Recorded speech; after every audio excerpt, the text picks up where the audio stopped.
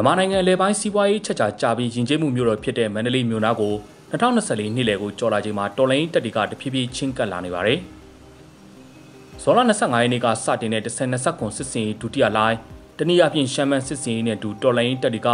မန္တလေးမြို့နယ် -30 ပတ်လည်အတွင်းကိုချင်းကပ်လာနိုင်ခဲ့တာပါ။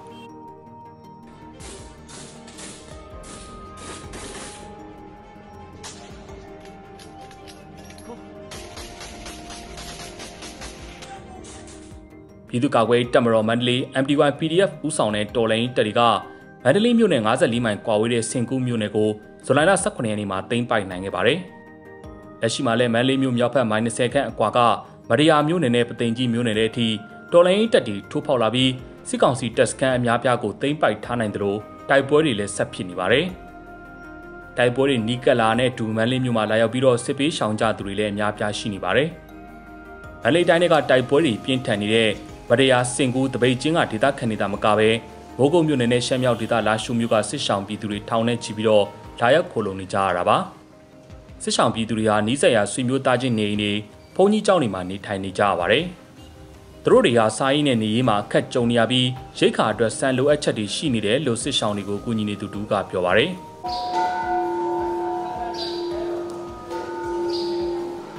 ဒုတိယကမ္ဘာစစ်နောက်ပိုင်းနှစ်ပေါင်း80နီးပါးစစ်ပွဲနဲ့မတွေ့ကြုံရတာကြာပြီဖြစ်တဲ့မန္တလေးမြို့ကန်တွေကတော့ကြုံလာရနိုင်တဲ့တိုက်ပွဲအတွက်ပြင်ဆင်မှုတွေလုပ်နေကြပြီလို့သိရပါဗျ။ငွေကြေးတက်နိုင်သူတွေကဘေးလွရာရန်ကုန်ကိုရှာမှုပြင်ထားကြပြီးအများစုကတော့စန်စီဆေးဝါးတွေကြိုပြီးစုဆောင်းနေကြသလိုတဲအိတ်တွေအကာရန်တွေနဲ့ပြင်ဆင်နေကြတယ်လို့မြို့ကန်မျိုးသမီးတယောက်ကမြန်မာနောင်းကိုပြောပါဗျ။ငွေကြေးတက်နိုင်တဲ့သူတွေကကြတော့ ဒီကလောဘတ်တို့ရန်ကုန်ဘတ်တို့ပေါ့နော်အဲ့ဘတ်တွေကိုပြေးမယ်လို့တော့စီစဉ်နေကြပါတယ်တချို့တွေကကြတော့ငွေကြေးမပြေစုံတဲ့သူတွေကြတော့ဟိုကိုအိမ်မှာကိုပဲပေါ့နော်တဲအိတ်လေးတွေနဲ့ကိုတက်နိုင်တဲ့အနေထားလေးနဲ့ပဲအဲ့လိုကာဝယ်ပြီးတော့ကိုအိမ်မှာကိုပဲနေကြမယ်လို့ဆုံးဖြတ်ထားတဲ့သူတွေလည်းရှိသေးပေါ့နော်တချို့လိုမရှောင်နိုင်တဲ့မျိုးကန်တွေကတော့ဒီစားနေရိတ်ခါအနေနဲ့စံစီစေးဝါးတွေကိုပေါ့နော်ကိုယ့်အိမ်မှာကိုစူဆောင်းထားတာတွေတော့တွေ့ရတယ်ပေါ့နော် ဟုတ်စိုးရင်ပူပန်စိတ်ကတော့ရှိပါတယ်ရှင်ဟိုညီမတို့ကလူငယ်ပိုင်းတွေဖြစ်တဲ့အတွက်ပေါ့နော်ဟိုလူကြီးပိုင်းတွေအမေတို့အဓိကမိဘတွေကဘလို့အရေးပေါ်ဖြစ်လာလို့ရှိရင်အလိုရှောင်ဝပြူရတာじゃမိဘတွေအနေနဲ့အဆင်မပြေတော့ကြတော့လူကြီးတွေကိုတော့အလိုဘေးလို့ရနေရအောင်ပေါ့နော်ပြောင်းရွှေ့ဖို့စီစဉ်ထားပါတယ်ဒေါ်လာတက်တရဲ့ထိုးစစ်တွေနဲ့နီးကပ်လာချိန်ကုန်စည်နှုန်းကြီးမြင့်မှုတွေကြားကနေ စားနေအိတ်ခါစေဝါတွေကိုမန်လေးမြို့ကန်တွေစုလာကြသလို73စီတွေကိုလည်းကြိုပြီးဝယ်စုလာကြပါတယ်။စစ်တပ်အာဏာသိမ်းပြီးချိန်ကနေ2024ခုနှစ်ဩဂုတ်လကိုရောက်လာချိန်ထိ73စီပြက်လက်မှုကို3ချိန်မြောက်ကြုံနေရတဲ့အထက်မှာမန္တလေးမြို့ကန်တွေလည်းပါဝင်နေပါတယ်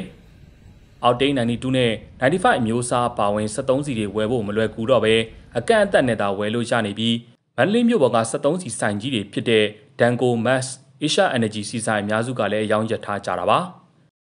မန္တလေးမြို့ကနောက်ထပ်အမျိုးသမီးတယောက်ကတော့သူ့အနေနဲ့စံစီအပြင်ဓာတ်စီကိုစုဆောင်းထားတယ်လို့ဆိုပါတယ်။မန္တလေးမှာလက်ရှိဖြစ်နေတဲ့အခြေအနေမြို့ကန်တွေရဲ့စိတ်ခံစားချက်တွေနဲ့ပတ်သက်ပြီးသူပြောပြတာက ဆန်နေပြေဆုံးရကြတယ်အဲ့လိုမျိုးဟိုကတော့ဒီကအခုဓာတ်စီပေါ့နော်ဓာတ်စီတော်တော်လေးပြက်နေဒီခုဆိုင်နေဆိုမရအောင်အဲ့ဒါကြောင့်မို့ဓာတ်စီတော့ဝယ်တာတွေတွေ့ရတယ်ဓာတ်စီဝယ်စုကြတယ်ဆန်နေဒီကပေါ့ဆန်နဲ့စီနဲ့ဒီကစုကြတယ်အဲ့လိုတွေတော့တော်တော်များများဝယ်ကိုးဝယ်လာကြတယ်ဆန်လည်းတိတ်မရှိကြတော့အဲဒီလိုပဲပုတ်ကပ်ပြီးနေရမှာပဲပေါ့ကိုယ်အိမ်နဲ့ကိုပဲအဲ့လိုမျိုးဆိုတော့ဟိုဒီကငွေကြီးမတက်နိုင်တဲ့သူကတော့စောင်းရနေရဖို့မရှိဘူးလေလေမရှိဘူးဆိုတော့လေကိုယ်အိမ်နဲ့ ဟိုပဲဒါဟိုဟာလိုအပ်တာလေးတွေဝယ်ထားအဲ့လိုပဲရမှာပေါ့လေနော်အလိုအပ်တာဝယ်ထားတာလေတော်တော်ပြည့်စုံတဲ့သူမှပဲဝယ်နိုင်ပါလေအပူအပူရှန်လေးကဒီနေ့လုံးမှဒီနေ့သားတော့ဒီတိုင်းမဝယ်နိုင်ဘူးသူတို့တက်တော့ဒုက္ခရောက်တာပေါ့သူတို့တော်တော်ဒုက္ခရောက်မှာပေါ့အဲ့လိုမျိုးတကယ်တမ်းပြေးကြဟိုဟာဖြစ်ပြီးဆိုရင်တော့သူတို့မှဝေးကြီးမတက်နိုင်တဲ့အတွက်အဲ့အဲ့ဒါတော့ဒုက္ခရောက်မှာ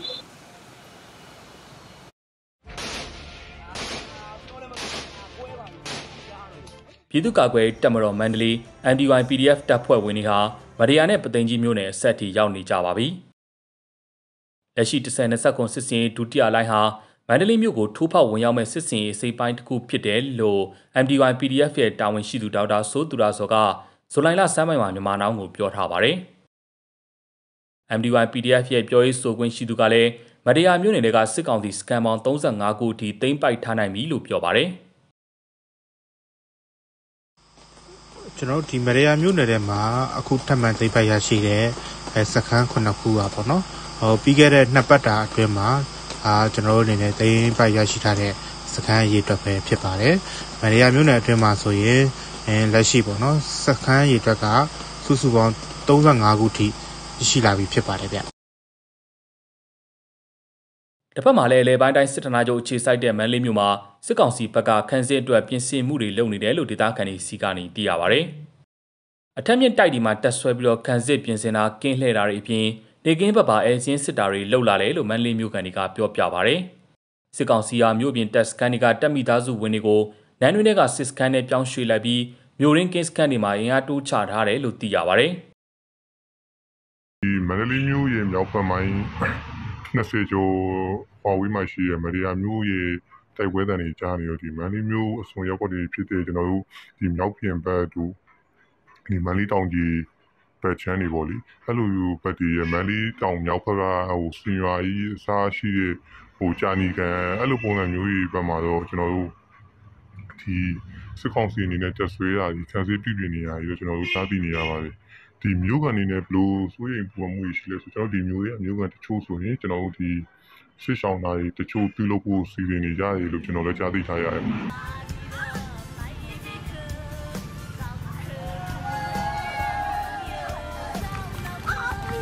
နည်းဖယ်အောင်အမလက်ပုံရိုက်မလို့နည်းနည်းဖယ်မန္တလေးတိုင်းမိုးကုတ်မြို့နယ်ကိုသိမ်းပိုက်ထားတဲ့တန်အမျိုးသားလွတ်မြောက်ရေးတပ်မတော် TNL အနေနဲ့လည်းဇူလိုင်လ10ရက်နေ့ကနောင်ချိုမြို့ကိုသိမ်းပိုက်ထားနိုင်ခဲ့ပါတယ်။ နောင်ချိုနဲ့မန္တလေးကြားမှာတော့စစ်တပ်ကတော်အများပြားရှိရာပြင်ဦးလင်ခေါ်မင်းမြို့ရှိနေပါတယ်။စင်ပြီးဝိုင်းလာတဲ့မန္တလေးမြို့ဝင်ထွက်ဂိတ်တွေကိုစစ်ကောင်စီကလက်ရှိမှာတင်းတင်းကြပ်ကြပ်စစ်ဆေးနေပြီးမန္တလေးမြို့ရင်းကဈေးချိုအိမ်တော်ရဖျားဝင်းနဲ့မန္တလေးတောင်ပေါ်တွေမှာလည်းတက်ဆွဲပြီးတော့ခံစစ်ပြင်နေတယ်လို့ဒေသခံတွေကပြောကြပါတယ်။